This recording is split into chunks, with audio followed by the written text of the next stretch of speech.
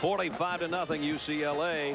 This is the 20th anniversary of Earl Campbell winning the Heisman Trophy for the Texas Longhorns. And uh, Ricky Williams, they call him Little Earl around here. Those two get together rather often and have discussions like this. I think he's a, you're a lot faster than I was. I am a little bit faster, not not a lot. I tell you what, I bet you. I only did a 4.740. Okay. What do you do? I ran about a 4-4. Yeah, see, Yeah. so I only could do a 4.7. But I, I never seen anyone catch it before. well, I think this though. I think when you're running the football, as you know, you mm-hmm. take Saturday night when you ran that long touchdown, mm-hmm. you might have been running a four-three. I know, because I, I, felt like no one could catch me. that- That's that- right.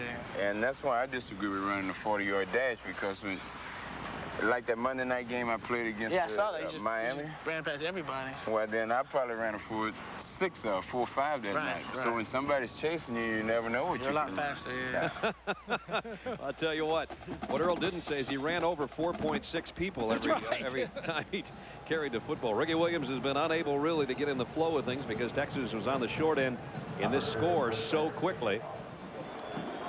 And after this kickoff, we'll show you remarkable statistics between those two.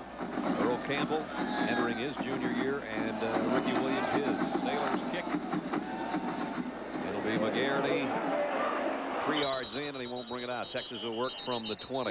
You look at what these guys have done in 25 career games. It's phenomenal how everything is almost identical with the exception of Earl caught his first pass when he was a junior. Ricky's already got 41 career catches. Yeah, that's the, the change in the game, though. Earl could catch the ball, I think, but uh,